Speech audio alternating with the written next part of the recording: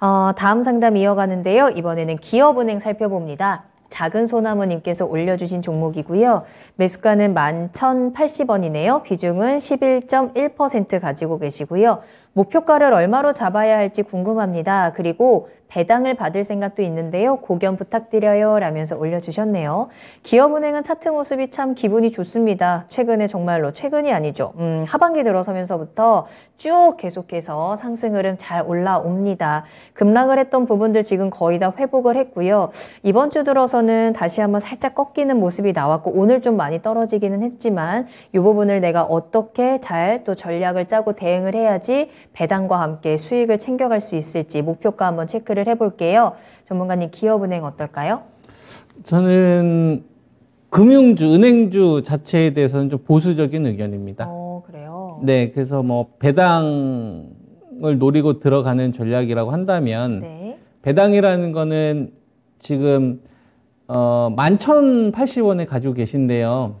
배당이라는 거는 목적 자체가 내가 싸게 사야지 배당 수익이 높아지는 거잖아요. 음, 그러니까 어, 11,000원에 사더라도 그다음에 8,800원에 사더라도 배당금은 똑같을 거 아니에요. 그쵸. 그죠? 그러면 나의 입장에선 수량을 더 많이 사는 게 더 유리하지 않습니까? 정말 배당을 살려고 한다면. 음, 그러면은 배당을 살 목적이라고 한다면 기업은행이 신저가 나올 때 사는 게 제일 좋은 거죠. 목적 자체가. 왜냐하면 어, 배당을 받는 거는 수량으로 결정이 돼야 되는데 같은 돈이라고 한다면 상단에 있을 때보다는 하단에 있을 때 하는 게 낫다고 생각을 하고 있고 금융주 같은 경우에는 저는 경기 침체 구간에서는 좀 피해야 되는 섹터라고 좀 판단을 합니다. 아, 에, 이게 그 실적으로 보면은 우리가 흠잡을 때는 별로 없는데요. 워렌 버핏이 주주총회를 할 때 질문들을 좀 많이 받아요. 워렌 버핏 주주들한테. 그래서 어, 주주총회에서 또 이런 질문이 한 번 있었어요. 은행, 금융주에 대해서 어떻게 생각을 하느냐. 어, 했던 거 보고서 저도 그때 되게 많은 것들을 깨닫게 됐었는데, 금융주들에 대해서는 보이지 않는 리스크가 있대요. 네. 그러니까 지금 돈을 잘 벌고 있고 유보금도 많이 쌓아 놓을 수도 있는데 예를 들면 파생과 연계된 거라든지 이런 걸로 어떤 사건이 한번 딱 터져지게 되면 뭐 뱅크런이 발생되는 사건이라든지 비슷한 사건 아니면 어느 국가의 어떤 부도 그러면 내가 지금 한 매, 매년 한 5주 정도 이렇게 벌고 쌓여놓은 돈도 되게 많은데 이게 순식간에 거래 정지가 되면서 패닉에 빠져버리게 되면 그동안에 벌어들였던 돈들이 아무 의- 의미가 없어지는 게 되는 거죠.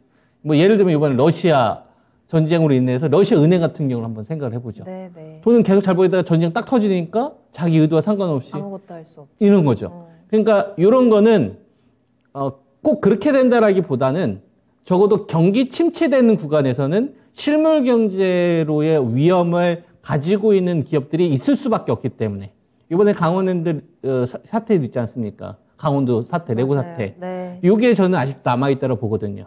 아직 불씨가 전 꺼지지 않았다고 봅니다. 실물로 뭔가 망하는 기업이 안 나타났어요. 요거는 전 나올 수밖에 없다고 봅니다. 금리 5% 시대면 작은 경색으로부터 자유롭지 못할 텐데 지금 대기업 롯데 같은 경우도 자금 조달하기 힘든 상황인데 어 그러면은 이거와 관련된 부분이 잠재되어 있는 상태에서 내가 굳이 이 리스크를 껴안고 할 것이냐 이거에 대해서는 저는 좀 보수적인 의견이다라는 거라서 그래서 기업은행 같은 경우에는 어, 배당금을 노리고 들어 들어가실 거라면 차라리 신저가 나올 때를 기다리셔라. 이게 제 의견입니다. 이미 근데 높은 가격에 들어가셨죠. 지금 11,000원에서 1,900원이면 뭐 매수가가 크게 차이 안 나니까 네. 저는 좀 빠져나오자는 의견입니다. 음, 그러네요. 자, 네. 기업은행입니다. 매수가가 좀 높다라는 부분이 아쉬운 부분이고 특히나 경기 침체 상황에서 이런 금융주들이 가지고 있는 리스크들 불안정한 부분이 있다라는 점을 꼭 체크를 해보셔야 될 것 같네요. 따라서 손실이 지금 얼마 나지 않은 상황에서 빠져나오는 전략을 조언을 해드렸고요. 잘 참고해 보시길 바라겠습니다.